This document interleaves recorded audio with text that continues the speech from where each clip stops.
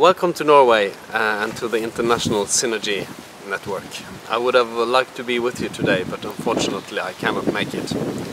You are, though, in the best of hands. Your host, Det Norske Veritas, is a world leader when it comes to risk management. In the future we will demand more of our companies. The products they produce, the services they provide, uh, but also the way companies are run.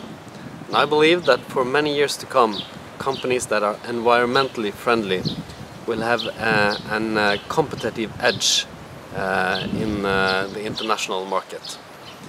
One of the tools to achieve this uh, is a, a, certified environmental management system.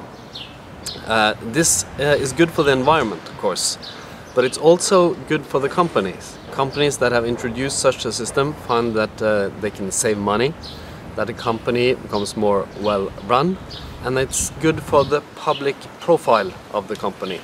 It also attracts uh, skillful young people to the company.